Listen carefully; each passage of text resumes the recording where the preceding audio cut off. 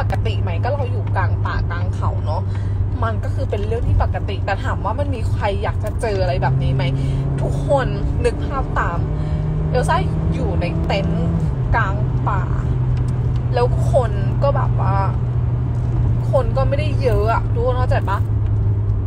ก็คิดว่าคงไม่มีใครอยากจะมา คงไม่มีใครอยากจะมาแบบว่า ประสบพบเจอกับอะไรแบบนี้ถูกปะแม่งคือคือนะ ตอนนั้นอะคือคิดแค่ว่ากลับตอนนี้เลยดีปะวะ คือเมื่อตอนหัวค่ำอะสแตนถามแล้วว่า เอออยากกลับเลยไหมจริงๆ กลับตอนนี้เลยก็ได้นะ เพราะว่าจริงๆ แล้วเราจะเช็คเอาท์ออกพรุ่งนี้อยู่แล้ว แล้วก็บอกว่าให้พักผ่อนดีกว่า เพราะว่าเราไปเที่ยวน้ำตกเอราวัณมา แล้วก็คือ เออ รู้ว่าเขาเหนื่อยแล้วเขาต้องขับรถไงทุกคน ก็เลยให้นอนต่อแล้วสรุปมันก็เกิด เออ มันก็มันก็เกิดอะไรแบบนี้ขึ้น ซึ่งมองว่ามันเป็นเรื่องที่แบบ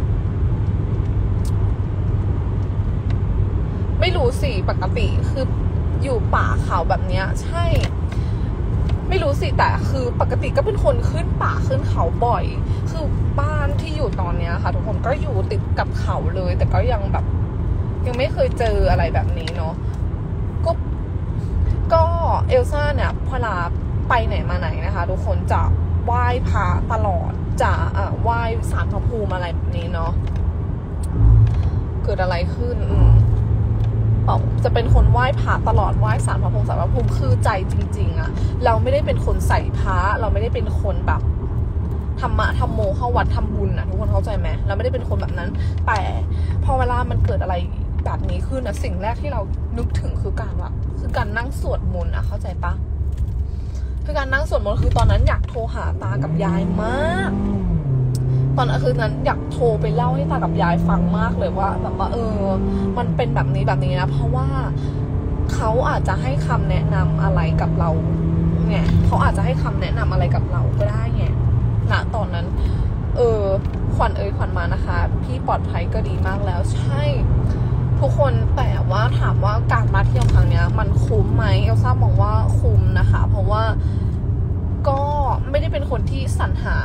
ไม่ได้เป็นคนที่สรรหาแบบสถานที่เที่ยวแบบอะไรขนาดนั้นเนาะพอมาถึงที่เนี้ยก็คือมันก็ครบอะมันก็มีพร้อมทุกอย่างไม่ว่าจะเป็นการไปล่องเรือไปขึ้นแพไปพาเดลหรือต่างๆ อะไรเงี้ย คือเขาก็มีเนาะสถานที่เขาก็สวยแต่ด้วยบรรยากาศอะคือแบบมันทั้งมืดแล้วฝนมันก็ตกอะไรเงี้ยมันก็เลยทำให้บรรยากาศแบบวังเวงมากทุกคนค่ะแล้วก็ดีใจมากที่ตอนนี้กำลังจะได้กลับบ้าน เออ อืม คือตกใจอะ คือตอนนั้นเขาแต่เขาก็พูดว่าเขาฝัน เขาฝันแต่ว่าเขาไม่ได้หลับเขาบอกงี้เขาฝันแต่ว่าเขาไม่ได้หลับนี่ก็งงเลยแม่งฝันไง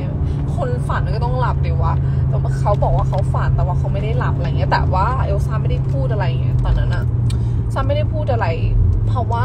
ที่ไม่ได้พูดอะไม่ได้กลัวว่าเขาจะกลัวนะ กลัวว่าเราจะกลัวเองเนี่ยแหละ กลัวว่าทั้งคืนจะนอนไม่หลับ แต่ก็นอนไม่หลับจริง ๆ ตื่นจนถึงแบบตีสี่จนต้องกินยาเม็ดที่สองอะทุกคน อืมจนต้องกินยานอนหลับเม็ดที่สองอะคือต้องแบ่งกับสแตนคนละเม็ดอะอืม ก่อน เนาะก่อนจะเข้าไปในสถานที่แต่ละสถานที่ทุกคน masterpiece ของตอนนั้น คือตอนเช้า ไม่รู้อะไรตอนกลางคืนที่ที่เรื่องมันเกิดขึ้นนะมันทำให้เรานึกถึง museum คือที่ที่เราไปพักเนี่ยเขามี museum ใช่ไหมนี่ก็เลยเดินเข้าไปในมิวเซียมเขาแล้วทุกคนรู้ปะว่าในมิวเซียมเขามีอะไร คือที่เนี่ยที่ที่เอลซาพักเนี่ยแต่ไม่บอกนะว่าที่ไหน เป็นสถานที่ที่ เป็นสถานที่ที่คนอยู่มานานมากมากมากมากมากมากอะเพราะเขาพบหลักฐาน ทุกคนตั้งแต่แบบสมัยหินหินกลางตั้งแต่เขาเรียกว่าอะไรไม่รู้นะลืมแล้วอะตั้งแต่สมัยแบบว่า ตั้งแต่สมัยตอนที่คนล่าสัตว์อะทุกคน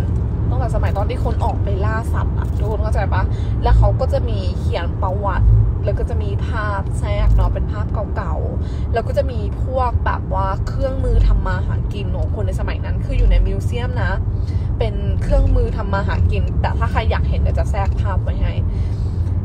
เครื่องมือทำมาหากินของเขาแล้วที่พีคสุดๆเลย ทุกคนแบบ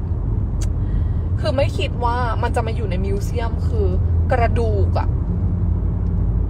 กระดูกอะค่ะทุกคน แต่คือเราไม่รู้ว่ากระดูกอะไร แต่เขาแต่มันมีภาพคนแทรกอะทุกคนเข้าใจปะตรงผนังอะมันมีรูปภาพคนแทรกอะแต่เอลซ่าไม่รู้ว่าคือกระดูกของอะไร มีทั้งฟัน มีทั้งจอ มีทั้ง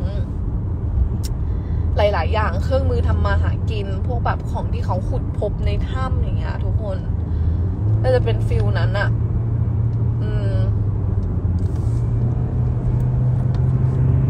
ดูดิของข้างหลังดูแบบเยอะมากอะขนของกลับเนี่ย ก็